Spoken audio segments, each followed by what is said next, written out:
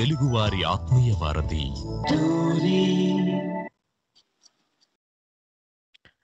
తెలుగువారి ఆత్మీయ వారధి టోరీలో సైన్స్ అవర్ కార్యక్రమానికి స్వాగతం. ఈ కార్యక్రమాన్ని Science for Society Babu Gogineni Facebook group వారు సమర్పిస్తున్నారు. నా పేరు ప్రసాద్ అండి. ఈరోజు మనతో పాటు మన రెగ్యులర్ గెస్ట్ అయిన గోవింద్ సి చింతాడ గారు కాలిఫోర్నియా నుంచి లైన్లో ఉన్నారు. Welcome to science our show అండి గోవింద్ గారు. నమస్తే ప్రసాద్ గారు థ్యాంక్ యూ అండి. యా మన శ్రోతలకి ఈ రోజు నుంచి ఒక సరికొత్త సిరీస్ స్టార్ట్ చేయబోతున్నాము. దానికన్నా ముందుగా మన ఫీడ్బ్యాక్ గురించి చెప్పుకోవాలి. గత మూడు నాలుగు నెలలుగా మనము హ్యూమన్ ఎవల్యూషన్ సిరీస్ అన్నది మెయిన్గా రన్ చేస్తూ మధ్యలో ఎక్కడైనా మన జేమ్స్ ర్యాండీ గారి గురించి కానీ కొన్ని కపుల్ ఆఫ్ సైన్స్ స్టోరీస్ కూడా ప్లే చేయటం పార్టిసిపేట్ చేయటం జరిగింది. సో ఇప్పుడు కొత్తగా ఒక సిరీస్ మనకి వచ్చిన ఫీడ్బ్యాక్ ప్రకారం లాస్ట్ వీక్ కూడా మనకి మెయిన్ ఏలూరు నుంచి ఆనంద్ గారు ఎవరో కానీ పంపారు కదండి. ఆయన అవునండి ఆనంద్ గారు మన రెగ్యులర్ రెగ్యులర్గా మా అవును. షో వింటూ ఉంటారండి. ఆయన ఫీడ్బ్యాక్ పంపించారు. ఆయన ఒక షో కూడా రిక్వెస్ట్ చేశారు. మీరు చెప్పండి అదేంటో. అదే అది evolution of religions belief systems ఇవి కూడా ఎలాగొచ్చినవి అన్నట్టుగా ఆయన చెప్పారు. So definitely will take it up at some point అండి. ఎందుకంటే మనకి ఆల్రెడీ ఫోర్టీన్ ఫిఫ్టీన్ ఎపిసోడ్స్ అయినాయి. And will take a small break for that series. And ఒక కొత్త ఎపిసోడ్ అండ్ కంటెంపరీ ఇష్యూస్ తోటి ఉన్న వాటిని ఇంతకు ముందు వచ్చిన ఫీడ్బ్యాక్ని తీసుకుని మనము ఈ సిరీస్ స్టార్ట్ చేయబోతున్నాము. సో ఈ సిరీస్ ఏంటి అని అనౌన్స్ చేసే ముందు మీకు ఒక చిన్న ప్రశ్న అండి. గోవింద్ గారు మీరు చెప్పాలి.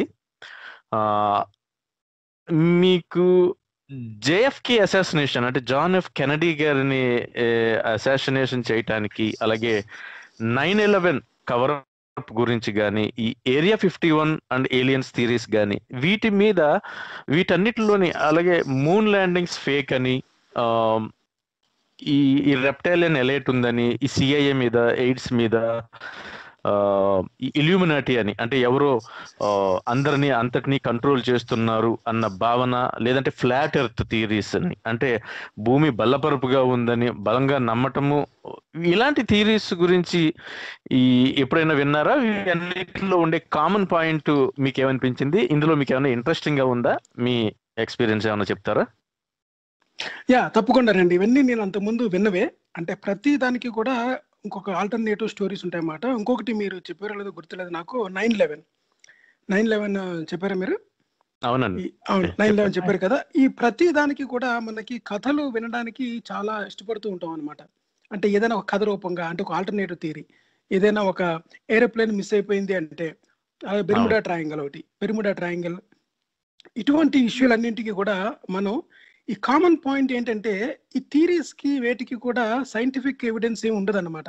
ఉదాహరణకి మీరు చెప్పిన ఏరియా ఫిఫ్టీ వన్ కానీ లేకపోతే మూన్ ల్యాండింగ్ ఓక్స్ అని కానీ వీటి ఏట్లకి కూడా మనకి ఫండమెంటల్గా ఎవరైతే ఈ అథారిటీస్ ఉన్నారో అథారిటీస్ చెప్పేదంతా తప్పు అని.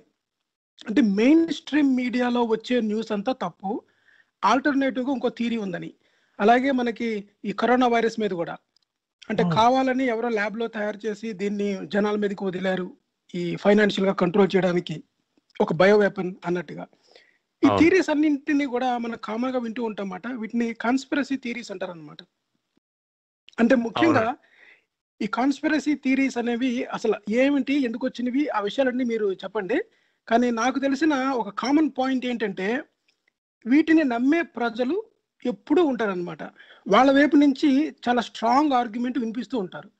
దాన్ని స్ట్రాంగ్ ఆర్గ్యుమెంట్ అనడం కంటే స్ట్రాంగ్ బిలీఫ్ అనాలన్నమాట. ఒక విషయాన్ని వాళ్ళు స్ట్రాంగ్గా నమ్మినప్పుడు ఇదే జరిగింది ఇదే జరిగి ఉంటుంది మనకి తెలియదు ఉదాహరణకి ఈ బిజినెస్ కార్పొరేషన్ కార్పొరేషన్స్ కానీ బిజినెస్ కానీ లేకపోతే ఈ ఫార్మాస్యూటికల్స్ అన్నీ కూడా ఇంక్లూడింగ్ వ్యాక్సినేషన్స్ అన్నీ కూడా ఆ పేరు మీద కావాలని జనాలకు ఇస్తున్నారని అలాగే వ్యాక్సినేషన్స్ అనేవి ఆర్టిజానికి కారణం వ్యాక్సిన్స్ అని అదేవిధంగా. బర్త్ కంట్రోల్ పిల్స్ తీసుకోకూడదని తర్వాత ఏమో ఇటువంటివి అనమాట రిలీజియస్ బిలీఫ్స్ కానీ లేకపోతే ఈ స్టోరీ టెల్లింగ్ దానికి బాగా ఉన్నవాళ్ళు లేకపోతే ఒక గ్రూప్ ఆఫ్ పీపుల్ చెప్తున్న విషయాన్ని ఆ గ్రూప్ నుంచి మనం వేరు వేరైపోతామేమో మస్ట్ బి మనం ఆ గ్రూప్కి చెంది ఉండాలి అని కానీ లేకపోతే. తరతరాలుగా యుగ యుగాలుగా మన ధర్మ గ్రంథాల్లో చెప్పబడినవి అందువల్లనే ఇటువంటివన్నీ జరిగినాయి అప్పుడు జరిగినాయి ఇప్పుడు జరిగినాయి అని అంటే చాలామంది ఏమనుకుంటారంటే ప్రతిదాన్ని మతానికి కానీ ధర్మానికి కానీ ముడిపెడుతున్నాం అనుకుంటారనమాట కానీ ఫ్యాక్ట్ చెప్పినప్పుడు ఆ ఫ్యాక్ట్ని అపోజ్ చేయలేని తనము లేకపోతే మనకి ఉన్న బిలీఫ్స్ అనేవి వాటి గ్రౌండ్ అంతా పోతుంది. అంటే మన బేసిస్ అంతా పోతుంది. ఇప్పుడేమో ఏమైపోతుందో అని అవతల వాళ్ళని మాట్లాడనీయకుండా చేయడం అన్నది మనం నమ్మిన సిద్ధాంతాన్ని తీసుకెళ్ళాలన్నది. వాళ్ళు ఏమంటారంటే మనం నమ్మిన సిద్ధాంతాన్ని వాళ్ళ మీద రుద్దుతున్నాం అనుకుంటారు. ఎందుకంటే ఒకసారి ఒక బిలీఫ్ బేస్ మీద ఏదైనా స్ట్రక్చర్ డెవలప్ అయిందంటే దాని చుట్టూ కూడా కొన్ని కథలు అల్లుకొని ఉంటాయి. కొంతమంది గ్రూప్ ఆఫ్ పీపుల్ దాన్ని బలంగా నమ్ముతుంటారు అనమాట అటువంటి థీరీసే మీరు చెప్పిన ఈ కాన్స్పిరసీ థీరీస్ అది కామన్ పాయింట్. యా బాగా చెప్పారండి. సో కాన్స్పిరసీ కాన్స్పిరసీ థియరీస్ అంటే కుట్ర సిద్ధాంతం అని మనం తెలుగులో చెప్పుకోవచ్చు ఆ, మన లిజనర్స్కి సో ఇందులో మనం చూస్తే గనక అంటే ఇది ఇప్పుడు ఇది ఎందుకు తీసుకోవాల్సి వచ్చిందంటే ఇది- ఇది మోస్ట్ కంటెంపరీ ఈ మనకి సైన్స్ ఎపిసోడ్స్లో ఇప్పుడు డిస్కస్ చేసుకోవాల్సిన విషయం కింద మనకు వచ్చిన ఫీడ్బ్యాక్ నుంచి కానీ మన చుట్టూ ఉన్న పరిస్థితులు కానీ వాటిని చూస్తే అనిపిస్తుంది అంటే ఎందుకంటే ఒకటి పాండమిక్ అంటే రెండు వేల ఇరవై ఆల్మోస్ట్ రెండు వేల పంతొమ్మిది చివరిలో మొదలయ్యి ఇప్పటికీ కూడా కంటిన్యూ అవుతూ చాలా పెద్ద డెవలప్డ్ దేశాల్లో కూడా అన్కంట్రోలబుల్గా అంటే ఏమాత్రము గవర్నమెంట్ కానీ హెల్త్ కేర్ కానీ మెడిసిన్స్కి కానీ లొంగకుండగా దాని కంట్రోల్ అన్నది మన చేతుల్లో లేనట్టుగానే ఉండటం అన్నది. ఒకటైతే రీసెంట్గా యుఎస్లో జరిగిన కొన్ని ఈ ఈ ఆల్మోస్ట్ సివిల్ వార్ టైప్లో లేదంటే ఈ ఈ బిగ్ డివైడ్ ఏదైతే ఉందో అంటే ఇంతకు ముందు గత గత కొన్ని పదుల సంవత్సరాలుగా లేనంత వంటి ఈ డిస్ట్రస్ట్ అన్నది అంటే మ్యూచువల్ గ్రూప్స్ మధ్యలో వేరు వేరు ఐడియాలజీస్ మధ్యలో లేదంటే పొలిటికల్ వేరు వేరు పొలిటికల్ గ్రూపుల మధ్యలో అనుకోవచ్చు సో ఈ డివైడ్ కానీ అలాగే ఇప్పుడు జరుగుతున్న ఈ యుఎస్ ఎలక్షన్స్కి సంబంధించిన పరిస్థితులు కానీ మనం చూసుకున్నట్టయితే చాలా వరకు మనము ఈ మిస్ఇన్ఫర్మేషన్ స్ప్రెడ్ అవటము హోక్సెస్ మిత్స్ ఇవన్నిటి గురించి మనం చెప్పుకుంటూ వచ్చాం. మనకు అలాగే దాదాపుగా ఒక పదిహేను ఇరవై ఎపిసోడ్స్ లాస్ట్ వన్ ఇయర్లో కరోనా వైరస్ మీద జరిగిన దుష్ప్రచారాలు వాటికి వాటి మీద వచ్చిన ఈ కన్స్పిరసీస్ కూడా వాటి మీద కూడా మనం షోస్ చేయడం జరిగింది. సో మనం ఇప్పుడు మనం ఇప్పుడు అడ్రస్ చేసే టాపిక్ ఏంటంటే అసలు ఈ కన్స్పిరసీ థియరీస్ అంటే ఏమిటి? ఈ కుట్ర సిద్ధాంతాలు అంటే ఏమిటి? ఇవి ఎలా పుడతాయి? ఎందుకు మనుషులు వీటిని అంతగా నమ్ముతారు? నమ్మటానికి ఉన్న రీజన్స్ ఏంటి? అలాగే ఇది ఎంతవరకు సమాజానికి ఈ ఈ సమూహాలకి ప్రమాదకరంగా పరిణమించే అవకాశం ఉంటుంది. అలాగే వీటి గురించి ఇలాంటివి వచ్చినప్పుడు వాటిని ఎలా ఐడెంటిఫై చేయాలి? లేదంటే ఇలాంటి వాటిని బలంగా నమ్మే వాళ్ళు మనకు తెలిసిన వాళ్ళు ఎవరైనా ఉంటే వాళ్ళకి ఏ రకమైనటువంటి సహాయం అందించాలి వాటి నుంచి బయటికి పడేయటానికి అన్నది మనం డిస్కస్ చేసుకోవడానికి స్టార్ట్ చేస్తున్నాం. So welcome to conspiracy theories series అండి. అండ్ మనము ఫస్ట్ ఎపిసోడ్ కింద సస్పిషియస్ మైండ్స్ ఈరోజు మనం డిస్కస్ చేసుకోబోయే టాపిక్ అన్నమాట. సో మొట్టమొదటిగా మీరు అన్నారు కదా ఈ కోవిడ్ గురించి అన్నప్పుడు. సో ఈ ఈ ఈ కరోనా వైరస్ ఈ లాస్ట్ ఆల్మోస్ట్ వన్ ఇయర్గా ప్రపంచవ్యాప్తంగా పాండమిక్గా మనం చెప్పుకుంటున్న ఈ వైరస్ అవుట్ బస్ట్ చుట్టూ చాలా కాన్స్పిరసీ థీరీస్ అన్నది రావటం మనం చూస్తాం. ఒకటి ఏంటంటే ఇది ఓల్డ్ పాపులేషన్కి వ్యతిరేకంగా ఒక ఎకనామిక్ ప్లాట్ అని కానీ లేదంటే ఫైవ్ జీ నెట్వర్క్స్ మనకి ఈ ఫిఫ్త్ జనరేషన్ టెలికమ్యూనికేషన్ నెట్వర్క్స్ ద్వారా వస్తుందని కానీ లేదంటే ఒక పర్టికులర్ పార్టీ ఒక ప్రెసిడెంట్నో ఒక లీడర్నో డిస్పోజ్ చేయటానికి క్రియేట్ చేసినట్టుగా కానీ లేదంటే ఒక బిల్ గేట్స్ లాంటి ఈ ఈ వ్యక్తులు పెద్ద పెద్ద వ్యక్తులు సిఇఓలు వీళ్ళు వాళ్ళకి సంబంధించిన రీసెర్చ్ని వాళ్ళు తయారు చేసే వ్యాక్సిన్స్ని అమ్ముకోవటానికే కావాలని వీటిల్ని స్ప్రెడ్ చేసినట్టుగా కానీ లేదంటే చైనా నుంచి ఒకటి ల్యాబ్లో తయారు చేసి వదిలేనానో లేదంటే వేరే దేశం వాళ్ళు చైనాలో వదిలేరనో లేదంటే ఒక పోలీస్ స్టేట్ని ఇన్స్టాల్ చేయటానికి గవర్నమెంట్స్ వీటిని క్రియేట్ చేసినాయనో లేదంటే ఈ క్లైమేట్ చేంజ్ అన్నదాన్ని స్టాప్ చేయటానికి ఈ- ఇది క్రియేట్ చేసినట్టుగా ఇలా రకరకాలుగా ఇది జస్ట్ నేను ఒక ఐదు ఆరు మాత్రమే చెప్పినట్టున్నాను.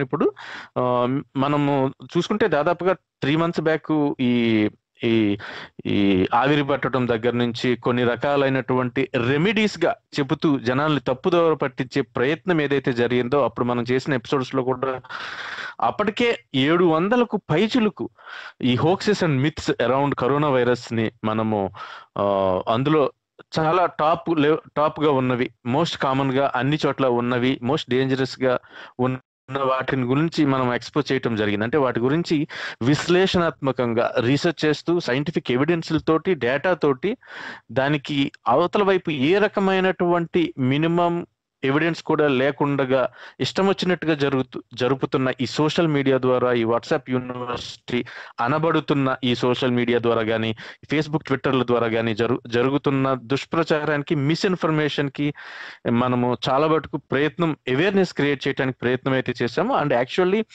మనము ఒక మంచి విషయం చూడటం ఏంటంటే ఇప్పుడు చాలా మటుకు ఫ్యాక్ట్ చెకింగ్ వెబ్సైట్స్ కానీ పోర్టల్స్ కానీ ఇన్స్టిట్యూట్స్ కానీ వచ్చినాయండి.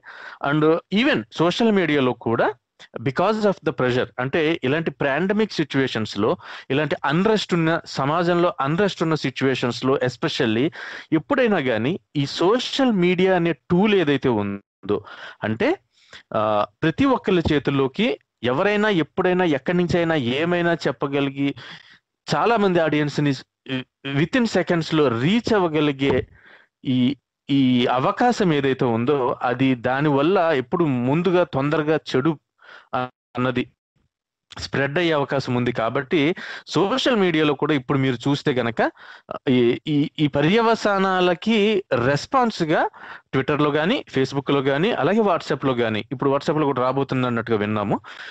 కొన్ని రకాలైనటువంటి చేంజెస్ రావటం అనేది ఒక శుభ పరిణామం అంటే ఒక ఒక దేశానికి ప్రెసిడెంట్ కానీ ప్రైమ్ మినిస్టర్ కానీ లేదంటే ఒక ఒక పెద్ద మూవీ ఇండస్ట్రీకి బిగ్ బాస్ లాగా కానీ ఉన్న మనుషులైనా కానీ irrespective of who who they are అంటే ఎవరు అన్న దానికి సంబంధం లేకుండా చెప్పిన విషయంలో నిజంగా విషయము నిజానికి ఫ్యాక్ట్స్కి దగ్గరగా ఉందా? లేదంటే అన అందులో ఫేక్ న్యూస్ కింద వచ్చి అది జనాల్ని తప్పుదవ పట్టించి దానివల్ల అన్రెస్ట్ సివిల్ అన్రెస్ట్ కానీ సమూహాల మధ్యలో గొడవలు కానీ వీటికి హింస హింస చెలరేగే అవకాశాలకి అవకాశం ఏమైనా ఇస్తూ ఉంటే కానీ వాటి వాటిని అవాయిడ్ చేయడానికి అన్నట్టుగా మనకి కనీసం ఇప్పుడు సోషల్ మీడియాలో చూస్తే వాళ్ళు దా వాళ్ళు దాన్ని ట్యాగ్ చేస్తున్నారు. అంటే రిజెక్ట్ చేస్తున్నారు కొన్ని సమయాల్లో కొన్ని సమయాల్లో బ్లాక్ చేస్తున్నారు కొన్ని సమయాల్లో.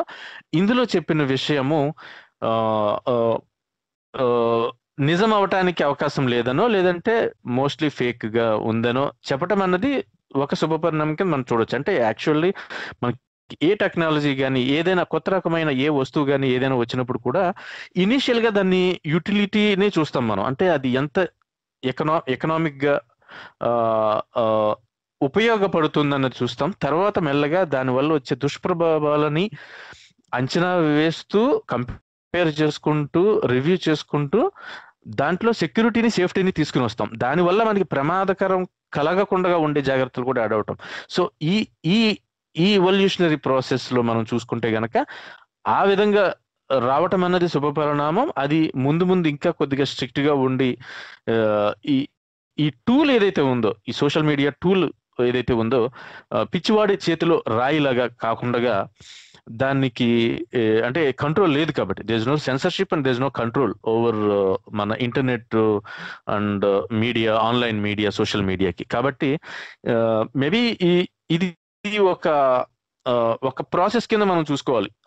అంటే ఏదైనా కానీ వచ్చినప్పుడు దానికి సంబంధించిన ఈ వెర్రితెల్లలు వేసే దాన్ని కంట్రోల్ చేయడానికి మళ్ళీ అందులోంచే మళ్ళీ ఈ విమర్శ అన్నది పుట్టి లేదంటే దానివల్ల వచ్చే దుష్ప్రభావాలని వైడ్గా జనం అందరూ డిస్కస్ చేయటం ద్వారా అది కరెక్ట్ కాదు అన్న విషయం బయటికి రావటంతో పాటుగా అలాంటి ఇన్స్టిట్యూషన్స్ అన్ని కూడా సెల్ఫ్ రెగ్యులేషన్ చేసుకోవటం అన్నది ఒక శుభపరిణామంగా మనం తీసుకోవాలండి. సో యా ప్రసాద్ గారు ఇంకొకటి అండి ఇప్పుడు ఎవరైనా శ్రోతలు ఈ ప్రోగ్రామ్కి కాల్ చేసి మీ వ్యూస్ని షేర్. చేసుకోవాలనుకుంటే మీరు Tory dot live one Skype ఐడికి కాల్ చేసి మాతో. మీ వ్యూస్ని షేర్ చేసుకోవచ్చు యా అవునండి. టోరీ టోరీ టోరీ ఆపరేటర్స్ కూడా ఎవరైనా గనక కాల్ చేస్తే కలపమని మనవి. సో ఎందుకంటే మనం ప్యూర్గా ఒక ఒక ఒక సీరియస్ థియరీనో దీన్నో మనం డిస్కస్ చేయటం కాకుండా కంటెంపరీ తీసుకోవటం. అలాగే ఇది చాలా ఇంటరాక్టివ్గా చేద్దామని కూడా అనుకుంటున్నాం కాబట్టి ఆడియన్స్ ఎలాంటి క్వశ్చన్స్ అయినా అడగొచ్చండి. ఏవైనా కాల్స్ వస్తే ఇంకొకటి ఈ షోలో మేము కాల్స్ తీసుకుంటామండి. ఎందుకంటే మిగతా షోస్ అయితే మేము ఓన్లీ ఒక సబ్జెక్ట్ బేస్డ్గా దాని గురించి కొన్ని క్వశ్చన్ అండ్ ఆన్సర్స్ లాగా ఒక థియరిటికల్ షో లాగా కండక్ట్ చేసాము ఈ షో ఈ షో ఏంటంటే ఈ కాన్స్పిరసీ థియరీస్ అనేవి అసలు బిలీఫ్ సిస్టమ్ అనేది ఏంటి ఎలా వర్క్ అవుతుంది మీకు కూడా చాలా సందేహాలు ఉండవచ్చు. సో అవన్నీ కూడా షేర్ చేసుకొని ఈ ఈ థియరీ గురించి మీరు ఏమంటారని చెప్తే ఏదైనా ఒక తెలియనిది ఏదైనా థియరీ ఉంటే దాన్ని తీసుకొని ఈ సిరీస్లోని మేము దాన్ని ఇంక్లూడ్ చేసి దాని గురించి క్షుణ్ణంగా. అధ్యయనం చేసి మీకు వివరణ అందించడం జరుగుతుందండి. తప్పకుండా అండి అలాగే మంచిగా చెప్పారు. సో ఇక మనము షోలోకి వెళ్తే మనం కాన్స్పిరసీ థీరీస్ అంటే తెలుగులో కుట్ర సిద్ధాంతం అది ఏదైతే చెప్పుకుంటున్నామో దీనికి మనం కన్స్పైర్ అన్న వర్డ్ చూసుకుంటే కనుక మన మీనింగ్ ఏముంటుందంటే to make secret plans jointly to commit an unlawful or harmful act అన్నట్టుగా ఉంటుంది. అంటే most of the time misleading or డేంజరస్గా ఉండే అవకాశం ఉండేవి ఒక నెగిటివ్ రిజల్ట్ ఇచ్చేలాగా ఉండేవి అన్నట్టుగా అర్థం వస్తుంది. సో మోస్ట్లీ మనం చూసుకుంటే ఇవి ఒక పవర్ఫుల్ గ్రూప్స్ కింద organised powerful groups mostly secretive అయి ఉండొచ్చు. అంటే రహస్యంగా పబ్లిక్గా జనాలకి తెలియకుండా ఆర్గనైజ్ చే కొన్ని కొంతమంది వ్యక్తులు కానీ కొన్ని గ్రూప్ సమూహాలు వల్ల కానీ జరుగుతున్న సీక్రెట్ ప్లాట్స్ కింద వీటిని మనం చెప్పుకోవచ్చు అనమాట అని అని భావిస్తున్నట్టుగా మనం చెప్పుకోవచ్చు. సో ఇందులో ఇంటెలిజెన్స్ ఏజెన్సీస్ కానీ అలాగే మిలిటరీ ఆపరేషన్స్ కానీ అలాగే ఎలాబరేట్ మర్డర్ ప్లాట్స్ అంటారు. అంటే మనకి ఇప్పుడు కోర్టు కేసెస్లో కూడా చూస్తే గనక కుట్ర చేసి చంపటం అన్నది చాలా పెద్దగా శిక్షించ శిక్షార్హమైనటువంటి నేరాలుగా పరిగణిస్తారు. అంటే మనకి first degree second degree third degree convictions ఏవైతే ఉంటాయో అంటే ఒక వ్యక్తిని చంపాలి అని చెప్పి ప్లాన్ చేసుకుని వేరే వాళ్ళతో కుట్ర చేసి ప్రీ ప్లాన్డ్ మర్డర్ చేయటం ఏదైతే ఉందో దానికి చాలా ఎక్కువగా ఫస్ట్ డిగ్రీ మర్డర్ శిక్ష విధిస్తారు. ఎందుకంటే కంపారిటివ్లీ తీసుకుంటే గనక అప్పటికప్పుడు ప్రమాదవశాత్తు నెగ్లిజెన్స్ అజాగ్రత్త ద్వారానో లేదంటే ఆవేశంలోనో జరిగిన హింస కంటే కూడా ఖచ్చితంగా చంపాలని ప్లాన్ చేసి ముందు ప్లాట్ రెడీ చేయటం అన్నది కాన్స్పిరసీ కింద వస్తుంది. అందుకనే దానికి ఎక్కువ గ్రావిటీ ఉంటుంది. విధించే శిక్షలో కూడా చాలా మటుకు life imprisonment or death penalties కూడా ఎక్కువ మనకి ఫస్ట్ డిగ్రీలో వస్తాయి. అంతేగాని ఇప్పుడు అజాగ్రత్తగా కారు నడపటం వల్ల ఏదైనా టూల్ను ఉపయోగించడం వల్ల లేదంటే ఒక రకమైనటువంటి అప్పటికప్పుడు ఇన్సిడెంటల్గా వచ్చిన ఆవేశంలో జరిగే ప్రమాదాల కంటే కూడా. సో ఇది సో ఇది కూడా ఒకటి. కన్స్పిరసీ థియరీస్ అన్నది కొన్ని అసాసినేషన్స్లో కానీ మర్డర్ ప్లాట్స్లో కానీ ఇది కూడా ఉంటుంది. అది కాకుండా కూడా ఈ- ఈ ఓవరాల్ కామన్గా మనం తీసుకుని మాట్లాడితే కనుక మనకి ఎక్స్ప్లెయిన్ చేయలేని అంటే ఈజీగా మనకి ఉన్న హిస్టారికల్ లేదంటే సైంటిఫిక్ మెథడ్స్ యూజ్ చేసి ఎక్స్ప్లెయిన్ చేయలేని ప్రూవ్ చేయలేని విషయాలు ఏమున్నాయో వాటికి ఆల్టర్నేటివ్స్గా ఇవి రావటం అన్నది మనం చూడొచ్చు అనమాట అంటే మోస్ట్లీ ఇవి ఫాల్స్ అవుతాయండి అండ్ కొన్ని చాలా తక్కువ సందర్భాలలో కన్స్పిరసీ థియరీ లాగా మొదలయ్యి అది యాక్చువల్గా అలాంటివి నిజమని తేలటం అన్నది కూడా చూడొచ్చు బట్ అది చాలా చాలా ఎక్స్ట్రీమ్లీ రేర్ కేసెస్ కిందే మనం చెప్పుకోవచ్చు. సో వీటి నేచర్ చూస్తే కనుక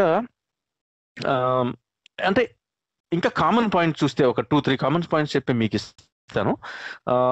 టూ త్రీ కామన్ పాయింట్స్ చూస్తే కనుక ఎప్పుడు కూడా వీటిల్లో చాలా ఎక్స్ట్రాడినరీ క్లెయిమ్స్ ఉంటాయి అనమాట అంటే మనం నమ్మలేని నమ్మసక్యం కాని అంత ఎక్కువ లింకింగ్ ఉంటుంది. అంటే different different pieces of information అంటే అదర్వైజ్ ఏ రకమైన సంబంధం లేకపోయినా కానీ కొరిలేట్ చేసేసుకోవడం అంటే అదే సమయంలో ఇప్పుడు ఒక వ్యక్తి పుట్టినప్పుడు కానీ లేదంటే ఒక వ్యాక్సిన్ వచ్చినప్పుడు కానీ ఇంకొక వ్యాధికి సంబంధించిన అవుట్ బస్ట్ ఏమైనా జరిగితే అంటే స్ప్రెడ్ ఏమైనా ఎక్కువైందంటే కనుక దీన్ని దానికి లింక్ చేయటం. లేదంటే ఒక మనిషి పుట్టిన తర్వాత ఏదైనా డిజాస్టర్ అయినా లేదంటే ఒక తోకచుక్క వచ్చినప్పుడు ఎందుకంటే ఒక తోకచుక్క కనపడిందంటే అదే సమయంలో ఏదో ఒకటి ప్రపంచంలో ఎక్కడో చోట జరుగుతూ ఉంటుంది. ఒక ఒక ఇన్సిడెంట్ ఒకడు ఒక ఒకడు కొత్తగా అధికారంలోకి రావటమో ఒకడు పదవీచ్యుతుడు కావటమో ఒకడు పుట్టటమో ఒకడు చనిపోవటమో ఒక డ్యామ్ కూలిపోవటమో ఒక చోట వరదలు రావటమో ఒక చోట ఈ అడవులు అడవులు తగలబడిపోవటమో ఈ బుష్ ఫైరింగ్ అన్నది అలాంటిది. సో అదర్వైజ్ అన్రిలేటెడ్ ఈవెంట్స్ ఏవైతే ఉన్నాయో ఈ వీటిని అన్నింటికి ఏదో ఒక రకమైన కనెక్షన్ ఉంది. ఆ కనెక్షన్ లేకుండా జరిగే అవకాశం ర్యాండమ్గా కానీ అవకాశం జరిగే అవకాశం ఉండదు అన్న బిలీఫ్ ద్వారా ఇది ఈ ఇలాంటి సిద్ధాంతాలు వస్తున్నట్టుగా మనకు తెలుస్తుంది. సో గోవింద్ గారు అసలు మనుషులు ఇలాంటి సిద్ధాంతాలని నమ్మడానికి గల కారణాలని సైకాలజిస్టులు కానీ అలాగే ఈ న్యూరో సైంటిస్టులు కానీ ఏమని చెప్తున్నారండి? యా ప్రసాద్ గారు చాలా బాగా ఎక్స్ప్లెయిన్ చేశారండి ఇంట్రడక్షన్ ఎక్సలెంట్ చాలా పాయింట్స్ టచ్ చేశారు మీరు. యా సైకాలజీలో కనుక దీన్ని తీసుకుంటే ద కోర్ బిలీఫ్ మటుకి మీరు చెప్పిందే. ఎందుకంటే ఏదో ఒక విషయం ఎక్కడో చోట కనెక్ట్ అయి ఉంటుంది. అందువల్లనే ఈ చుట్టూ మన ప్రపంచంలో ఉన్న చుట్టూ జరిగే విషయాలు ఏవైతే ఉన్నాయో అన్ని ఒకదానికొకటి ఇంటర్ రిలేటెడ్ ఫర్ ఎగ్జాంపుల్ కొన్ని మూవీస్లో డైలాగ్స్ ఉంటాయి చూసారా? ఎక్కడో సీతాకోక చిలుక తన రెక్కల్ని ఆడించిందంటే ఇంకెక్కడో సునామీ వస్తుందని. ఇటువంటి అర్థం పర్థం లేని నో లాజిక్ అసలు లాజిక్ ఏమీ లేని కొన్ని వాటిని పాపులరైజ్ చేయడం ద్వారా మనం ప్రతిదానికి ఏదో కారణం ఉంటుంది అనుకుంటాం అనమాట అంటే for example there is a reason why you born మీరు మీ పుట్టుకకి ఒక కారణం ఉంటుందన్నమాట. అని మీరు విశ్వసించినట్టుగానే చాలామంది ఈ స్పిరిచువాలిటీలోని ఆధ్యాత్మికతలోని అందరూ విశ్వసిస్తూ ఉంటారనమాట సో యాక్చువల్గా there is no reason as simple as that అది ఒప్పుకోవడానికి చాలా మన ఫండమెంటల్ ఫౌండేషన్ బిలీఫ్ ఏదైతే ఉందో అది క్రాక్ అవుతుంది అనమాట అది అది బీటలు వస్తుంది. అందువల్ల ఏం చేస్తారంటే we conveniently answer our selves మనకి మనకుగా సమాధానం మనకి మనకుగా సమాధానం చెప్పుకోవడానికి మనం ఏం చేస్తామంటే ఆ ప్రతిదానికి ఏదో కారణం ఉంటుందండి మనకి తెలియదండి మనకి తెలియనంత మాత్రాన మనకి అన్నీ తెలుసు అనుకోకూడదండి. అలాగని చెప్పి మనం ప్రతిదీ అంతా మనకే తెలుసు అనుకోకూడదు. అలా మొదలెడుతుంటారు అనమాట ఎందుకంటే there is no other side of proof కానీ ఆర్గ్యుమెంట్ కానీ ఒక స్టాటిస్టికల్ అనాలిసిస్ కానీ డేటా కానీ ఏమీ ఉండదు అనమాట ఊరికినే ఒక బ్లాంకెట్ స్టేట్మెంట్ లాగా వేసేసి దాన్ని అపోజ్ చేస్తున్న వాళ్ళని ఎవరి నమ్మకాలు వాళ్ళేయండి మీరు మనోభావాలు దెబ్బతీయకూడదండి. ఆ టైప్లో ఎండ్ అవుతుంది ఎనీ ఆర్గ్యుమెంట్ ఏ ఆర్గ్యుమెంట్ అయినా సరే ఆర్గ్యుమెంట్కి ఒక బేస్ ఉండాలి రీజన్ ఉండాలి లాజిక్ ఉండాలి రిపీటెడ్గా జరగాలి స్టాటిస్టికల్ డేటా ఉండాలి ఎగ్జాంపుల్స్ ఉండాలి అది వెరిఫైబుల్కి చేసుకోవాలి అది కన్సిస్టెంట్గా జరుగుతూ ఉండాలి ఇలా చాలా ఉంటాయన్నమాట. ఇది సైంటిఫిక్ అప్రోచ్ అంటారు. సైకాలజీలో ఏమవుతుందంటే హ్యూమన్ ఎవల్యూషన్లోనే మనం ఈ టాపిక్ తీసుకోవడానికి ఇంకో కారణం ఏంటంటే మనం చేసిన హ్యూమన్ ఎవల్యూషన్ అండ్ ఈ కాన్స్పిరసీ థియరీ బిలీఫ్స్ నమ్మడం అనేది ఈ రెండు రిలేటెడ్ హ్యూమన్ ఎవల్యూషన్లోని మనిషి పరిణతి చెందినప్పుడు ఆది మానవుడి దగ్గర నుంచి ఇప్పటి వరకు మనం ఈ ఈ స్థాయికి రావడానికి కారణం. స్థాయిలు రెండు రకాలు ఉంటాయి ఒకటి ఏంటంటే మానసికంగా పరిణతి చెందడము రెండోది ఏమో అవయవపరంగా మన అభివృద్ధి చెందడం అంటే మిగతా యానిమల్స్ కంటే ఉండడం. ఇంకోటి ఏంటంటే సాంకేతిక పరంగా అభివృద్ధి చెందడము ఆ సాంకేతికత తీసుకువచ్చిన ఈ ప్రయోజనాలు ఏవైతే ఉన్నాయో వాటిని మనందరం కూడా గ్రూప్గా ఎంజాయ్ చేయడం అనమాట అది ఒకటి. అయితే సైకలాజికల్గా మన డెవలప్మెంట్ ఆఫ్ బ్రెయిన్స్ ఆ మెదడు యొక్క పరిణతి మన ఎవల్యూషన్లోని హార్డ్వేర్ అనమాట హార్డ్వేర్ ఏంటంటే యూ కెనాట్ చేంజ్ ఇట్ అది దట్స్ ఇట్ అంతే. అలా ఉంటుందన్నమాట. సహజంగా చెప్తాం కదండి మనకి మనకి గ్రీడినెస్ ఉంటుందని లేకపోతే కోపం రావడం కానీ ఎమోషన్స్ కానీ లేకపోతే మనం దేనైనా ఒక ఆపదని ముందుగా తెలియజేయడం అనమాట ఏదైనా ఆపద వచ్చినప్పుడు మనకి ఒక పొదల్లోని అలికిడి అయినప్పుడు ముందుగా మనం అక్కడ ఏదైనా ఒక జంతువు ఒక పులు ఉందేమో అని కానీ ఒక పాము ఉందేమో కానీ అని ముందుగా మనకి స్ఫురణకు రావడం అనేది ఎవల్యూషన్లోని మనకి వచ్చిన ఒక గ్రేట్ అడ్వాంటేజ్ అడ్వాంటేజ్ కరెక్ట్ చాలా మనకి అది చాలా మనకి ఇల్యూ ఇల్యూజరీ ప్యాటర్న్ పర్సెప్షన్ అంటారు అనుకుంటా కదా సైకాలజీలో. దీన్నే humans are like pattern seeking animals అంటే మనం ప్రతి దానిలోని ఏదో ఒక నమూనా అంటే మనకి ఒక రిపిటేషన్ ప్యాటర్న్ కనిపిస్తుంది అని మనం నమ్ముతాం అన్నమాట. అంటే మనం అలా ఆలోచిస్తూ ఉంటాం. దీని మీద మిస్ అయిన మిస్ అయిన ఇన్ఫర్మేషన్ మిస్ అయిన చోట కూడా మన brain will try to I think fill it. అంటే లేని ఉన్న వాటిల్ని లింక్ చేసుకోవటం. ఇప్పుడు మనకి ఇప్పుడు ఆస్ట్రాలజీలో ఈ రాసులు చూసిన అలాగే ఈ కొన్ని షాడోస్ చూసినప్పుడు అంటే ఐ థింక్ కొద్దిగా ఏమాత్రం అంత వెలుతురు లేని ప్రదేశాలలో నీడలు కనపడటం లాంటి పరిస్థితుల్లో ఏదో జంతువు వచ్చి ఉండటం వల్ల వచ్చి ఉంటుంది అన్నట్టుగా లేదంటే మన ఒంటి మీద ఏమైనా పాకినప్పుడు మనం ప్రమాదంగా ఇరిటేటెడ్గా ఫీల్ అవుతాం. ఎందుకంటే చాలా సందర్భాల్లో అది విషపూరితమైనటువంటి ఒక జీవ పురుగు అయి ఉండే అవకాశం ఉంటుంది కాబట్టి. సో ఇవన్నీ కూడా ఏంటంటే ఇంకో ఇంకో ఫినిష్ చేయండి. ఇంకో ఎగ్జాంపుల్ అంటే ఫినిష్ యా. అంటే అంటే మనకి ప్రమాదకరంగా ఉండే అవకాశం ఉండే పరిస్థితులు ఏదైనా ఉందో ఆ పరిస్థితిని నిలబడి నుంచుని ఇది ఎందుకు జరిగింది? ఇది నిజంగా ప్రమాదకరమా కాదా అని ఆలోచించగలిగేంత సమయం తీసుకున్న హేతువాదులైనటువంటి ఎర్లీ హ్యూమన్స్ మేబీ అంతరించిపోయి ఉంటారు. ఎందుకంటే అది నిజంగా పులి అయితే గనక నిజంగా పాము అయితే గనక వాళ్ళని కాటేసి చంపేసేది.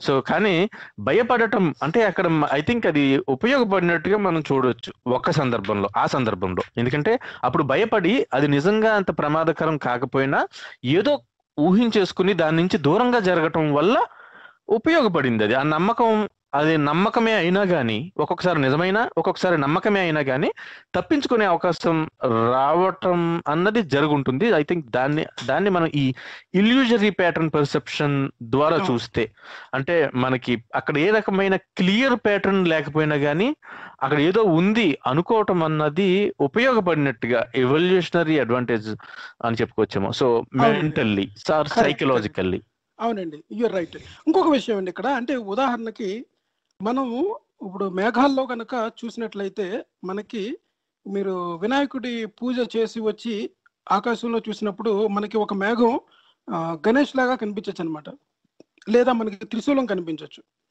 అలాగే క్రిస్టియన్స్ వాళ్ళ క్రిస్మస్ రోజున కానీ క్రిస్మస్ రోజున కానీ లేకపోతే మన గుడ్ ఫ్రైడే నాడు కానీ బయటకు వచ్చినప్పుడు వాళ్ళకి క్రాస్ కనిపించవచ్చు మేరీ మాత కనిపించవచ్చు జీసస్ కనిపించవచ్చు మా అమ్మాయి కుక్క పిల్లలు కనబడతాయండి మా అబ్బాయికి. డైనోసార్లు కనబడతాయి ఎగ్జాక్ట్లీ ఎప్పుడు కూడా. ఇప్పుడు అదేనండి ఇప్పుడు ఎవరికి అది ఇప్పుడు రామ్ గోపాల్.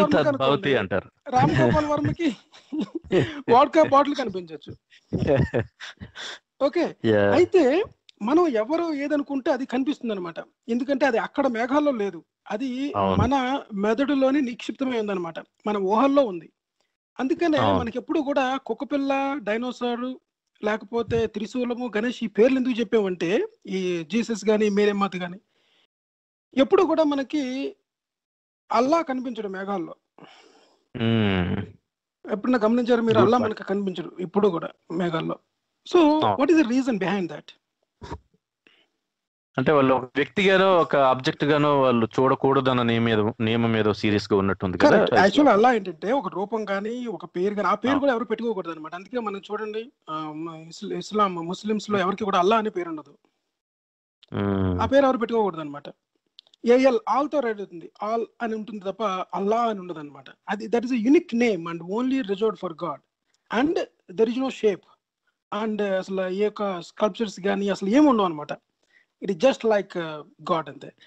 అందువల్ల మీకు ఆ రూపమే లేదు కనుక ఆ రూపం మీకు కనిపించదు అనమాట అంటే మనకు తెలియని విషయాన్ని మీరు ఊహించలేరు. తెలిసిన విషయాన్ని మైండ్ ఫిలప్ చేస్తుంది. మీరు అంతకుముందు చెప్పిన ఎగ్జాంపుల్లోని ఒక ఫేమస్ ఎగ్జాంపుల్ ఏంటంటే మనకి ఒక రాంగ్ స్పెల్లింగ్ ఉన్న వర్డ్ కనిపించినా అది మన రైట్ స్పెల్లింగ్గా తీసుకుని చదువుతాం అనమాట మనకి అక్కడ ఏదైనా రెండు మూడు లెటర్స్ తప్పు పడినా సరే మన బ్రెయిన్ కరెక్ట్ చేసేసి తీసుకుంటుంది. అందుకనే మనం ఫాస్ట్గా చదవగలుగుతాం. మనం ఎప్పుడు. కూడా అదే కనుక మీకు స్పెల్ చెక్ ఇస్తే వర్డ్ డాక్యుమెంట్ అన్ని ఫైండ్ చేస్తుంది. Because computer is not thinking thinking అంటే దానికి. ఎమోషన్స్ కానీ ఇటువంటి ఇల్యూజన్స్ ఏమీ లేవు అనమాట అది యాక్చువల్గా మెకానికల్గా ప్రోగ్రామింగ్గా తీసుకెళ్ళిపోతుంది మన బ్రెయిన్ పసిగట్లేదు అనమాట అండ్ బ్రెయిన్ చాలా చాలా కొన్ని కొన్ని వేల రెట్లు ఈ ప్యాటర్న్స్ని రికగ్నైజ్ చేయటంలో స్టిల్ కంప్యూటర్స్ కన్నా కూడా చాలా ఫాస్ట్గా చేస్తున్నట్టుగా మన మనకి జరిగిన స్టడీస్ వల్ల తెలుస్తోంది. అవును. అలాగే ఇంకొక విషయం నేను గత ముందు ఈ పొదల్లో ఉన్నప్పుడు మన ఆపదను ఎందుకు ముందుగా గుర్తిస్తామని నేను ఒక పుస్తకం ఒక నోవెల్ చదివాను అనమాట చాలా క్రితం. అది బహుశా ఎండమూరి వీరేంద్రనాథ్ గారి నవల్ అది. నాకు తెలిసినంత మటుకి చీకట్లో సూర్యుడు. దాంట్లో ఒక అక్క తమ్ముడు ఉంటారనమాట ఆ అక్కని తమ్ముడు అంటూ ఉంటాడనమాట నీకు ప్రతిదానికి భయము పిరికితనము పిరికితనం ఉండడం వల్ల నువ్వేమీ సాధించలేవు. ధైర్యంగా ఎదుర్కోవాలి. ఆ చీకటి గదిలో ఏముంది ఇలా చూస్తేనే తెలుస్తుంది మనకి. అంతే తప్ప ఆ గదిలోకి వెళ్ళకుండా ఇక్కడి నుంచి ఊహాగానాలు చేయడం ద్వారా ఆ గదిలో ఏముందో మనం తెలుసుకోలేము. ధైర్యంగా ముందుకు వెళ్ళడం ద్వారానే మనకి కొత్త విషయాలు తెలుస్తాయి. ఆ రహస్యాన్ని ఛేదించగలుగుతాం అంటాడు అనమాట అంటే దానికి అక్క అంటుంది. ఒరే ఒక్కోసారి పిరికితనమే మేలురా. ఎందుకంటే దాని వలన మన ప్రాణాలను కాపాడుకోవచ్చు అంటది అనమాట అంటే Hmm. యాక్చువల్గా she's also she's true she's right ఎందుకంటే ఆమె. చెప్పింది ఈజ్ అ ట్రూ స్టేట్మెంట్ మన ఎవల్యూషన్ హ్యూమన్లోని ఈ మానవులు అంటే ట్రైబల్ అంటే ఆది మానవుల దగ్గర నుంచి ఇప్పటి వరకు కూడా ముందుగా మనం మన ప్రాణాలను రక్షించు రక్షించుకోవడం అంటే ప్రెడిటర్స్ అనేవి ఉంటాయని ఉదాహరణకి ఒక పొదలోని కొన్ని పసుపు రంగు ఆకులు గ్రీన్ ఆకులు కలిసి ఉన్నాయనుకోండి ముఖ్యంగా ఒక లేడీ కానీ ఒక జింక కానీ దాని కేసు దాని ఆ వైపు చూసినప్పుడు అది ముందుగా ఒక పులిని గుర్తిస్తుంది అనమాట ఎందుకంటే టైగర్ అనేది అందులో ఉంది అని మనకి టైగర్ కనిపిస్తుంది దాంట్లో. మనకి మేఘాల్లో కుక్కపిల్ల కనిపించినట్టుగానే.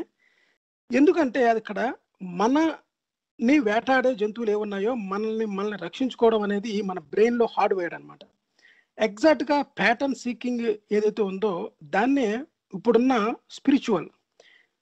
ఏమన్నా చెప్పండి తిరిగి తిరిగి it comes backs to your core beliefs అంటే సైన్స్ మాట్లాడుతున్నప్పుడు సైన్స్ మాట్లాడాలి కానీ మళ్ళీ స్పిరిచువాలిటీ ఎందుకు అంటారు కదా? ఎగ్జాక్ట్లీ స్పిరిచువాలిటీ ఇస్ రిక్వైర్డ్ ఎందుకంటే వేదాంతంలో ఏం చెప్తారంటే వేదాంతంలో ఇంతకుముందు మీరు చెప్పిన మాట మీకు తెలియకుండానే మీరు స్పిరిచువాలిటీలో మాట్లాడారు. చీకట్లో మనకి కొన్ని షేడ్స్ కనిపిస్తే కొన్ని ఆకారాలు కనిపిస్తాయి అంటారు చూసారా?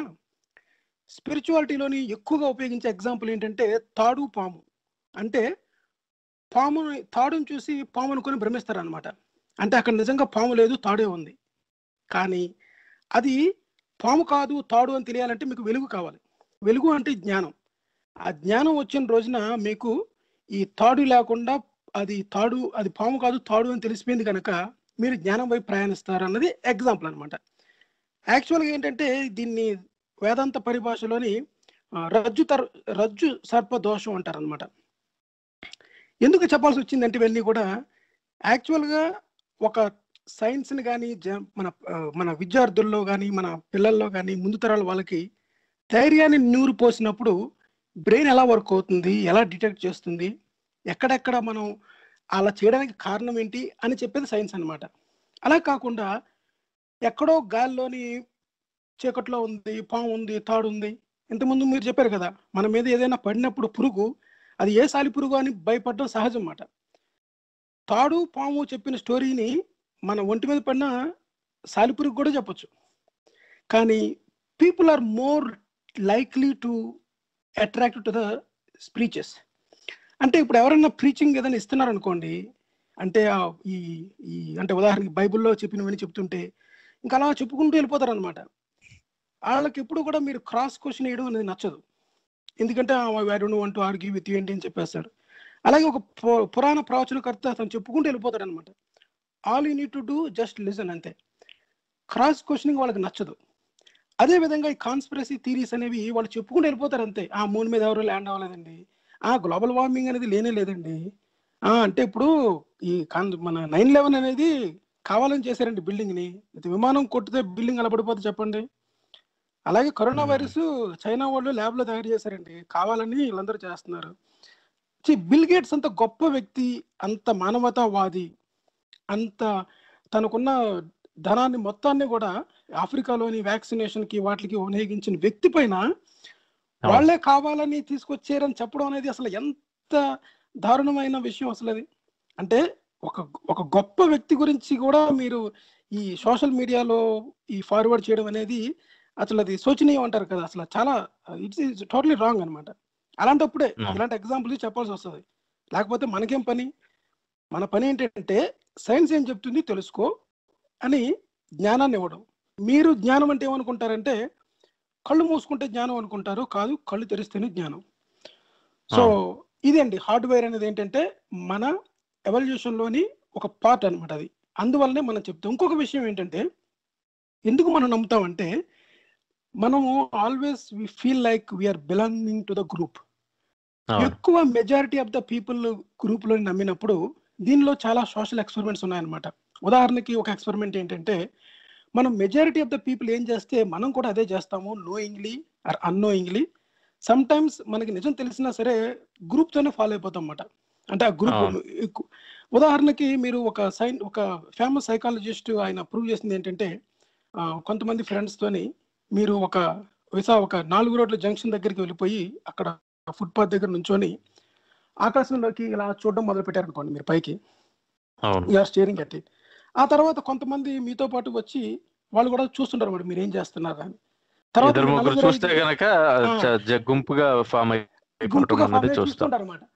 అలా. చూస్తే ఎక్స్పెరిమెంటల్గా ఏం ప్రూవ్ అయిందంటే ప్రతి చోట కూడా more than forty percent of the people అక్కడ ఆగి ఏం జరుగుతుందని చూసి పైకి అందరూ చూస్తుంటారు అనమాట ఇది సోషల్ బిహేవియర్ అంటే స్లైట్లీ స్లైట్లీ డిఫరెంట్గా ఇది చాలా వేరియేషన్స్తో జరిగినాయండి. యాక్చువల్గా మీరు చెప్పిన ఎగ్జాంపుల్ కాకుండా ఇప్పుడు ఒక ఆఫీస్లోకి వెళ్తే మనుషులు వచ్చి కూర్చుంటూ ఉంటే వెయిటింగ్ లిస్ట్ వెయిటింగ్ దగ్గర టింగ్ అనేదో శబ్దం అవుతుంది రెండు మూడు నిమిషాలకు ఒకసారి. అయినప్పుడల్లా అక్కడ అందరూ లెగిసి నుంచుని రెండు రెండు క్షణాల నుంచి మళ్ళీ కూర్చుంటూ ఉంటారు. ఎందుకో తెలియదు. ఊరికే. అది ఎక్స్పెరిమెంట్ అదంతా కూడా ఎక్స్పెరిమెంట్లో పార్టే.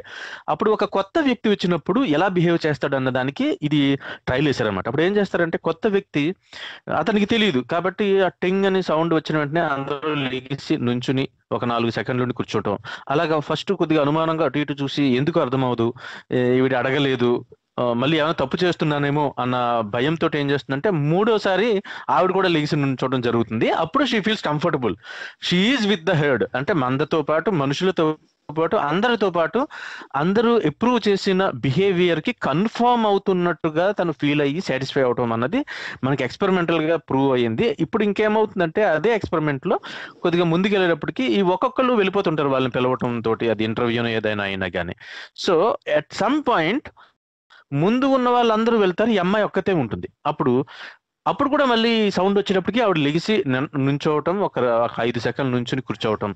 ఆ తర్వాత కొత్తగా ఎవరు వస్తే వాళ్ళకి కూడా ఈవిడ చెప్పటమో లేదంటే ఈవిడిని చూసి వాళ్ళు కూడా చేయటమో అంటే ఒక పాయింట్ అయిన తర్వాత నిజంగా ముందు కారణం ఏదైనా ఉన్నా కానీ తర్వాత వచ్చిన వాళ్ళకి అది కారణం తెలుసుకోకపోయినా సరే ఎవరో చేస్తున్నారు కాబట్టి మన ఇది తెలుసో తెలియకో జరిగింది. ఇంకొకటి ఏంటంటే అంటే ఇది యాక్చువల్కి కోతుల మీద కూడా జరిగింది. మనకి ఈ కోతులనికి ఒక అతి అరటిగలో పెట్టి ఒక్కొక్క కోతిని పంపి దాన్ని అంటే అండ్ అంటే పనిష్మెంట్ అండ్ రివార్డ్ అన్నది. అంటే పైకి వెళ్ళి టచ్ చేయడానికి ట్రై చేస్తే నెక్కి పనిష్మెంట్ అంటే అందరు అన్ని కోతుల్ని తడిపేస్తూ ఉంటే గనక తర్వాత ఒక కొత్త కోతి వస్తే దానికి అర్థం దాని పైకి ఎక్కుతూ ఉంటే ఎందుకు మిగతా వాళ్ళందరూ లాగేసి కొట్టేస్తున్నాయి అన్ని కోతులు. బాధేస్తూ ఉంటాయి అనమాట సో ఇది ఒకటి. ఇంకొకటి మీరు చెప్పిన గ్రూప్ గ్రూప్ థింకింగ్కి అంటే పీర్ ప్రెషర్ పీర్ ప్రెషర్కి కూడా ఇంకొక ఎగ్జాంపుల్ ఏంటంటే క్లియర్గా మనకి అందరికీ తెలుస్తున్నా గానీ ఒక లైన్ అన్నది ఒక మూడు అదర్ లైన్స్లో ఏ లైన్కి సమానంగా ఉంది అన్నది. ఇది క్లియర్గా మళ్ళీ సైకాలజిస్టులు చేసిన ఎక్స్పెరిమెంట్లో. కొత్త వ్యక్తి ఎవరైనా వస్తే గనక మిగతా వాళ్ళందరూ ఎక్స్పెరిమెంట్లో భాగమైన మిగతా వాళ్ళందరూ తప్పు చెబితే ఆ కొత్త వ్యక్తి కూడా అదే తప్పుని కంటిన్యూ చేసి అదే గ్రూప్లో ఉండటానికి ట్రై చేయటం అనేది. అంటే మనకి ఎవల్యూషనరీ పాయింట్ ఆఫ్ వ్యూలో చూసుకుంటే సమూహంతో గుంపులతోటి ఉండటం అన్నది ఏ రకంగా మనకి అడ్వాంటేజ్గా ఒకప్పుడు ఉపయోగపడిందో అదే ప్యాటర్న్ అదే సైకలాజికల్ థింకింగ్ని కంటిన్యూ చేస్తూ లేదంటే అప్లై చేస్తూ ఉండే ఉండే తత్వం గురించి చెప్పే విశ్లేషించే ఎగ్జాంపుల్స్ అన్నమాట అవి. అవునండి. అదొకటి. చాలా మంచి ఎగ్జాంపుల్ ఇచ్చారు. I like this example.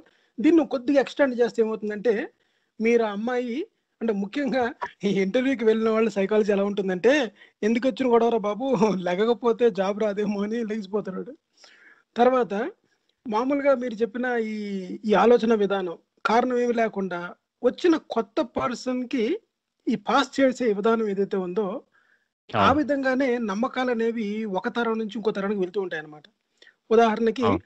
పిల్లి ఎదురొస్తే అన్న దగ్గర నుంచి తర్వాత ఏమో ఈ తోకచుక్కలు వచ్చినప్పుడు రాదని చెప్పారని చాలా మంది ఏం చెప్తారంటే ఈ ఆస్ట్రాలజీ అనేది ఈ ప్యాటర్న్ సీకింగ్ స్టార్స్లోని అక్కడున్న నాలుగైదు స్టార్స్ కూడా ఈవెన్ కొన్ని కాంతి సంవత్సరాల దూరంలో ఉన్నా సరే అవన్నీ ఒక ఫ్లాట్ పేపర్ మీద డాట్స్ పెట్టినట్టుగా కనిపిస్తున్నాయి అని ఆ వాటి చుట్టూ కూడా యానిమల్స్ గీసి ఆ యానిమల్స్ లాగానే మన బిహేవియర్ ఉంటుందని ఎందుకంటే. మనం భూమి మీద ఎక్కడో ఉంటాము అక్కడ నుంచి స్ట్రైట్ లైన్ తీసుకొని సన్నకి తీసుకొని ఆ సన్ వెనకాల ఏ గుంపు అయితే ఉందో ఈ నక్షత్రాల గుంపు అది సింహం అనుకోండి. అసలు అందులో మీకు సింహం బొమ్మ రాదు. ఐఏ స్టార్స్ ఉపయోగించి మీరు డైనోసార్ గీసుకోవచ్చు పిల్లిని కూడా అవును. గీసుకోవచ్చు. అది. పిల్లో పులో మీకు తెలియదు అనమాట కానీ మీరు సింహం లాగా ఫీల్ అవుతూ ఉంటారు. ఇదంతా ఈ ఆస్ట్రాలజీ వాళ్ళు క్రియేట్ చేసిన ఈ ఈ ఫాల్స్ బిలీఫ్స్ ఏవైతే ఉన్నాయో అది ఒక శాస్త్రంగా చెప్తూ ఉంటారు చాలా మంది అంటే వాళ్ళు అనేది ఏంటంటే శాస్త్రి తప్పు కానీ శాస్త్రం తప్పు కాదు అంటారు. కానీ బేసిక్ ఏంటంటే శాస్త్రమే తప్పు. పీరియడ్. ఏ ఇద్దరు కూడా ఏ ఏ. రెండు చోట్ల కూడా ఒకసారి ఒక ఒక రకమైన రిజల్టే రాదు ఇంకొక విషయం ఏంటంటే మనకి ఈ అబ్రహాం కొవ్వూరు గారు కానీ జేమ్స్ రాండీ గారు కానీ వీళ్ళు అనౌన్స్ చేసిన మిలియన్ డాలర్స్ ప్రైజెస్ ఏమైతే ఉన్నాయో వాటిలో వాళ్ళు పెట్టిన కండిషన్స్కి అంటే అబ్జర్వబుల్ కండిషన్స్కి కూడా ఎవ్వరు ఆ, ఒప్పుకొని వచ్చి ప్రూవ్ చేసి అంటే ఆస్ట్రాలజీ అనేది ఒక సైన్స్ అన్నట్టుగా ప్రూవ్ చేయలేకపోవటం అన్నది కూడా మనం చూస్తే కనుక మనకి తెలిసేది ఏంటంటే అంటే వాళ్ళు చెప్పడం ఏంటంటే వాళ్ళు ఏం చెప్తారంటే ఏం లేదు.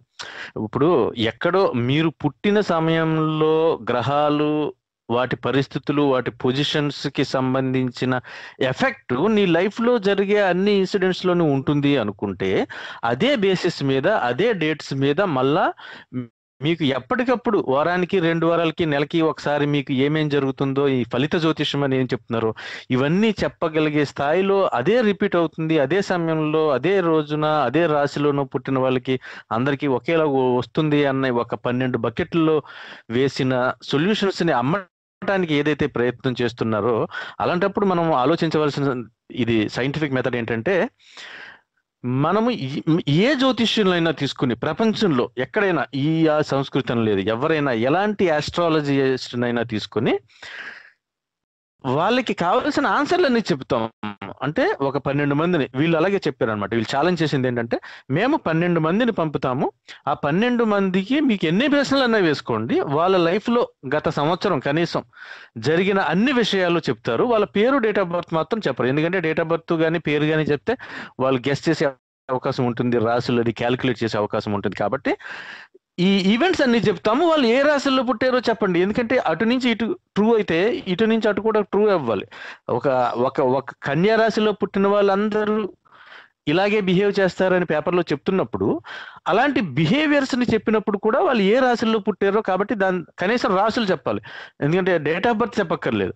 వాళ్ళు ఏ రాశుల్లో పుట్టి ఉండేవారో అన్నది రివర్స్లో కూడా చెప్పగలిగినప్పుడు వాళ్ళకి మిలియన్ డాలర్ ప్రైజ్ ఇస్తామని చెప్పినప్పుడు పన్నెండు మందిని పంపితే అందులో ఒకరికి కూడా కరెక్ట్గా చెప్పలేకపోయారు. అంటే మనకి వ్యక్తికి వన్ వన్ వన్ ట్వెల్త్ అయితే ఇంకొక వ్యక్తికి కూడా కరెక్ట్ అయ్యే chance one twelfth into one twelve అంటే నూట ఒకటిలో నూట నలభై నాలుగు ఛాన్సుల్లోనే అతను ఇద్దరు కరెక్ట్ అని చెప్పగలడు అలాంటిది ఎన్ని ఛాన్సెస్ పెర్మిటేషన్స్ అండ్ కాంబినేషన్స్లో అది చెప్పలేకపోయే అవకాశం పెరిగిపోతుందో అది ఎందుకు అవకాశం పెరుగుతుందంటే అందులో ఏ రకమైన one per point not not not not one percent కూడా సైన్స్ అన్నది లేదు కాబట్టి. సైన్స్ అంటే మీకు ఫర్ ఎనీ గివెన్ ఇన్పుట్స్ మీకు ఎప్పుడైనా సరే ఇన్పుట్స్ మారినంత సేపు అవుట్పుట్ సేమ్ రావాలి. And you know rest everything same అయినప్పుడు. సో అలాంటిది ఏమీ లేదు కాబట్టి అది జ్యోతిష్యం అన్నది ఆస్ట్రాలజీ అన్నది అన్సైంటిఫిక్ అండి.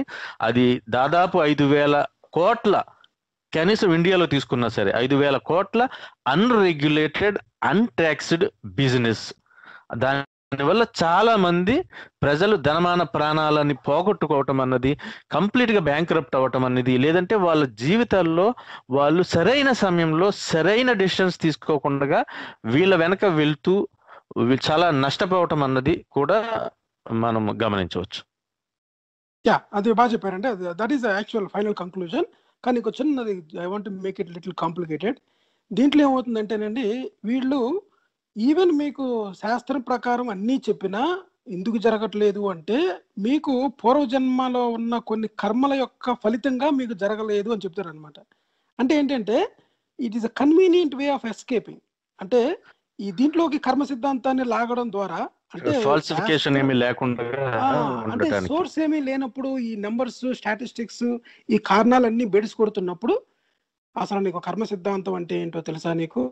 మనం చేసిన గత జన్మల పాప యొక్క ఫలితము అప్పుడు నువ్వు జ్యోతిష్యం కూడా నీకు పనిచేయదు అది ప్రారంధంగా నీకు జరగాలని జరగాల్సింది కనుక జరిగింది అని చెప్పి ఇంకా చేతులు దులిపేసుకుంటారు అనమాట కానీ ఇదే ప్రారంధము కర్మ సిద్ధాంతము నమ్మే వాళ్ళు కూడా మరి అంతా ఎవరో చేస్తున్నారు అతని ప్లాన్ ప్రకారమే జరుగుతుంది అనుకున్నప్పుడు ఏదైనా జబ్బు ఇలాంటి కరోనా వైరస్ వచ్చినప్పుడు మళ్ళీ ఆసుపత్రికి వెళ్ళటము లేదంటే ఈ డాక్టర్లు మందు కనిపెట్టడానికి ట్రై చేయటం కూడా దేవుని లేదంటే ఒక హయ్యర్ లెవెల్ డివైన్ పవర్ యొక్క ప్లాన్ని మనం అబ్జెక్ట్ చేస్తున్నట్టుగానే భావించాలి కదా. అంటే సమాధానం లేదు.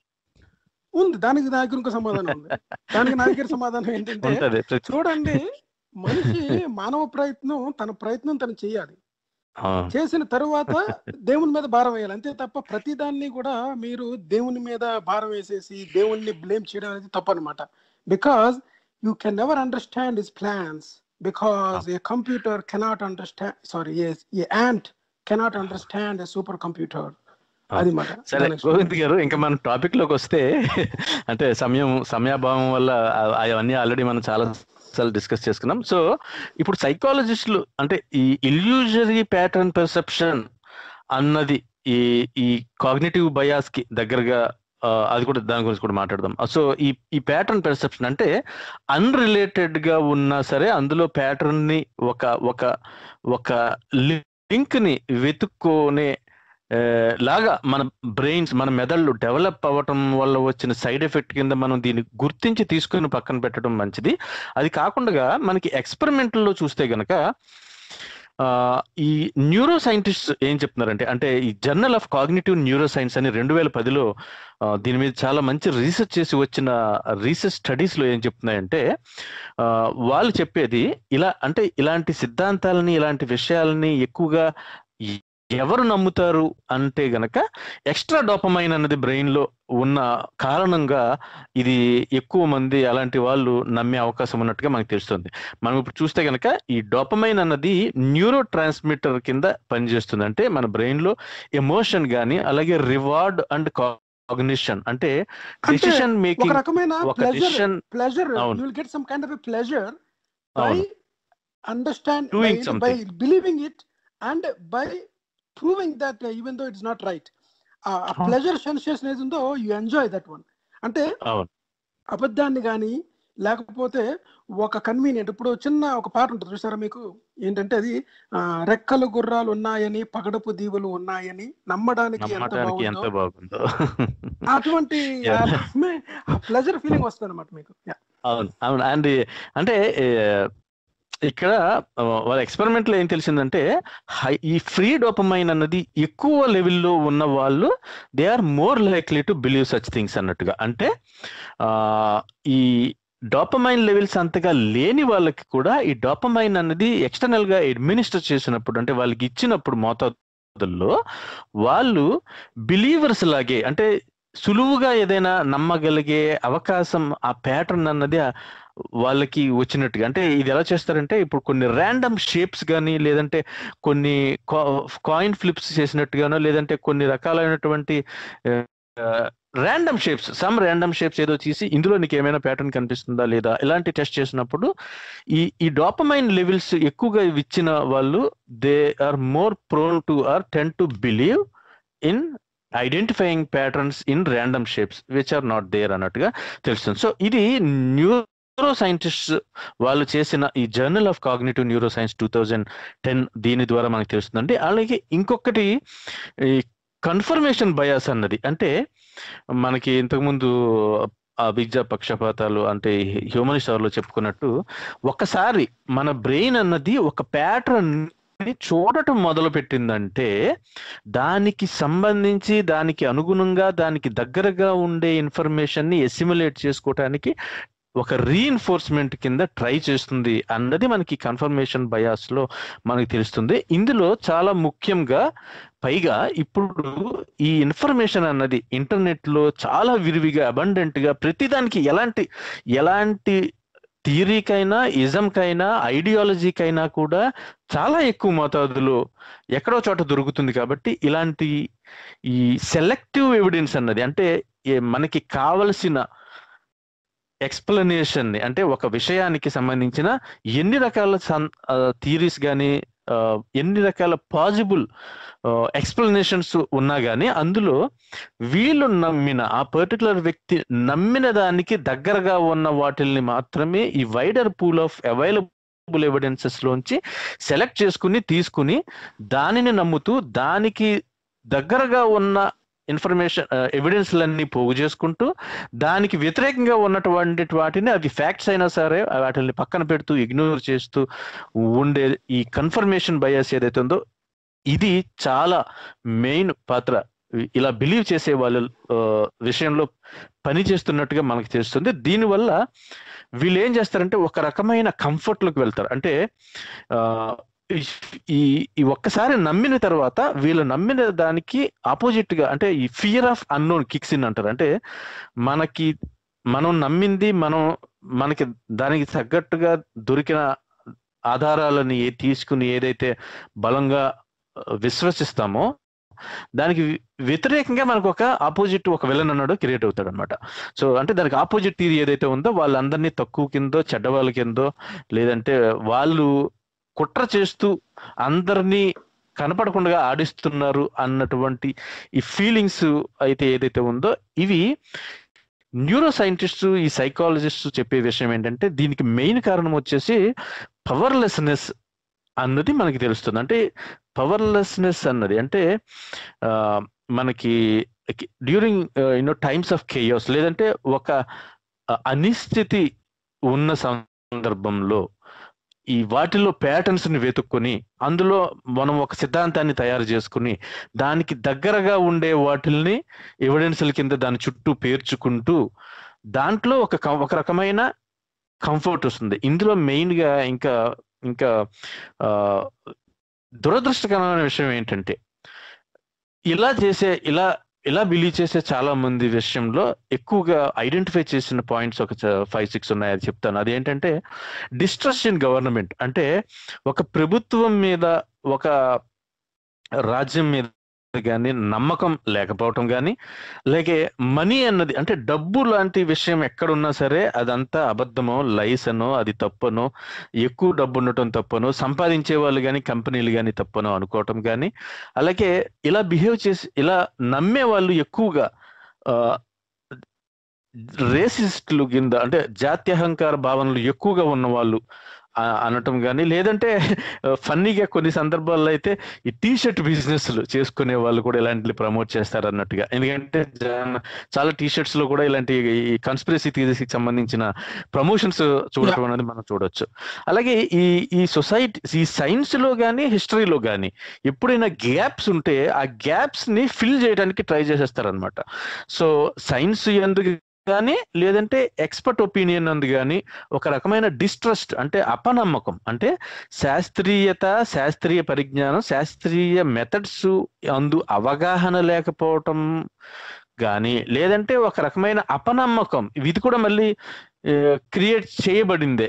ఇలాంటిది ఇలాంటి అపనమ్మకం పెరగటం ఇలాంటి విషయాలు ఉన్న వాళ్ళకి ఏమవుతుందంటే ఇలాంటి సిద్ధాంతాలను ఏదో ఒక దాన్ని పట్టుకుని నమ్మి అందులోనే ఉండి దానివల్ల చాలా ఒక సర్టెన్ అమౌంట్ ఆఫ్ కంఫర్ట్ని వాళ్ళు వాళ్ళు వాళ్ళు ఫీల్ అవుతున్న పరిస్థితులు అయితే వాళ్ళు గమనించి అబ్జర్వ్ చేసి ప్రపోజ్ చేయటం అయితే జరిగిందనమాట సో ఇది అండి నా వైపు నుంచి అయితే సో మీరు ఏమైనా పాయింట్స్ యాడ్ చేయండి. యా థ్యాంక్ యూ అండి. చాలా మీరంతా కోర్ అంతా కవర్ చేసేసారు.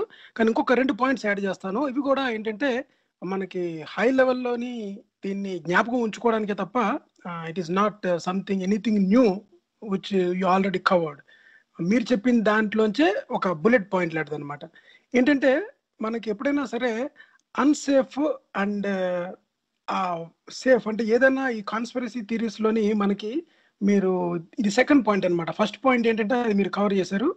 Uh, అన్సర్టినిటీ వచ్చినప్పుడు ఈ వరల్డ్ అంతా అనిశ్చితిగా ఉన్నప్పుడు మీకు ఒక feel of security and you are in control అని రావడం కోసం ఈ కాన్స్పిరసీ థీరీస్ అనేవి మీకు హెల్ప్ చేస్తాయి అనమాట హెల్ప్ అంటే ఏం కాదు you feel like a safe by believing those conspiracy theories ఇంకా థర్డ్ ఎగ్జాంపుల్ థర్డ్ వన్ ఏంటంటే మనం ఎప్పుడు కూడా you want to cultivate a good good self image అంటే ఇతరుల ముందు నీ యొక్క ఈ ఈ వ్యక్తిగతంగా ఉన్న ఇమేజ్ ఏదైతే ఉందో దాన్ని ఇంకొద్దిగా ముందుకి ఎలివేట్ చేయడం కోసం కాన్స్పిరసీ థీరీస్ మాట్లాడుతూ ఉంటారనమాట అంటే ఎవరికైతే సోషల్గా ఎడ్జ్ అంటే అంత గుర్తింపు లేని వ్యక్తులు ఎవరైతే ఉన్నారో వాళ్ళు ఇటువంటి థీరీస్ని ప్రపోజ్ చేయడానికి కానీ దాని గురించి మాట్లాడడానికి కానీ that way they feel good ఎందుకంటే. ఇది సైకాలజీ సైకలాజికల్గా కూడా ఎవరికైతే అంటే ఇప్పుడు ఎక్కువగా రిటైర్ అయిపోయిన తర్వాత కానీ లేకపోతే జాబ్ లేనప్పుడు కానీ సోషల్గా మనకి అంత లైఫ్ లేనప్పుడు you come up with some kind of a theories అంటే ఏంటంటే ఎనర్జీ అనేది ఒకటి ఉందని ఆ ఎనర్జీ మనం కంట్రోల్ చేస్తుందని ఆ ఎనర్జీని మనం నీరులాగా వాడాలని నీరుని ఎలా సేవ్ చేసుకుంటున్నాం ఎనర్జీని సేవ్ చేసుకోవాలని లేకపోతే మనకి ఈ సంస్కృతానికి సంబంధించిన కొన్ని మంత్రాలకు సంబంధించినవి లేకపోతే మన యొక్క సంస్కృతి సాంప్రదాయాలు పూర్వ కవ ఋషులు వీళ్ళందరూ కూడా అన్నీ ఎప్పుడో చెప్పేశారు. ఇంతకుముందు మీరు చెప్పారు చూసారా ఒక అమ్మాయి ఇంటర్వ్యూకి వెళ్ళినప్పుడు ఆఫీస్కి వెళ్ళినప్పుడు గంట కొట్టినప్పుడల్లా లెగిసి నుంచుంటుంది ఆ బెల్ కొట్టినప్పుడు ఆ సౌండ్. వచ్చినప్పుడు అది తర్వాత వచ్చిన వాళ్ళకి కూడా అందించిందని చెప్పాం కదా. ఎగ్జాక్ట్గా చాలా మంది ఏం చేస్తుంటారంటే మనం పాటించేవన్నీ కూడా నమ్మకాలు మూఢనమ్మకాలను తీసేస్తుంటామండి. కానీ మన పూర్వీకులు అన్ని సైంటిఫిక్గా ఆలోచించేసి అన్ని పెట్టేశారు. వీళ్ళందరికీ కూడా అంత నాలెడ్జ్ లేదు గనక చిన్న కథల రూపంలో చెప్పారు.